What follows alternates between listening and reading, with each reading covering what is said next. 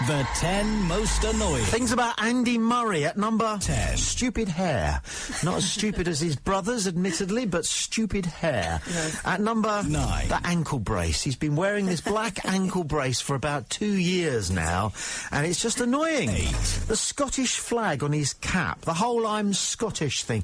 I'm not British. I'm Scottish, me. That is very, very annoying. At number 7. 7. I've hurt my thumb, so I have. I've hurt my wee thumb, so I have. Ten most annoying things about Andy Murray at number 6. his mum. Isn't she annoying? Isn't she, though? I mean, I know she's just being a mum, but uh, oh, it's Wimbledon. you, you get that on the public courts, don't you?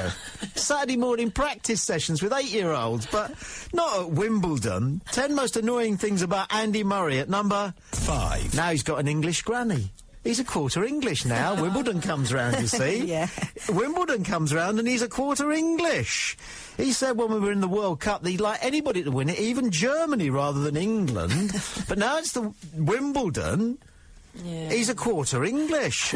Ten most annoying things. Andy Murray at number 4. the verbals shouting at himself. He does. Does he? Yeah, well, yeah. he just he looks down at the baseline and he wa- if it's usually when he's receiving serve and he's got to walk across the baseline and he looks down at the baseline he just goes And I don't know what he said. Mon, I think. Mon hoots oh hey.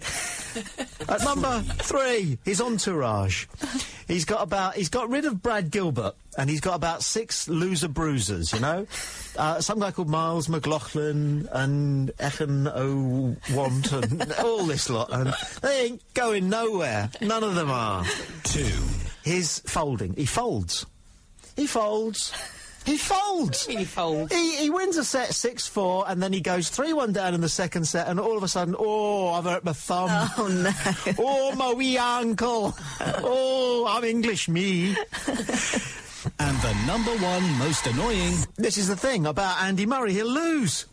He'll lose. And and Murray Mount is now called. Ah, Murray yeah. Mount. We'll be all mumsy about it. Oh, I thought Andy was lovely.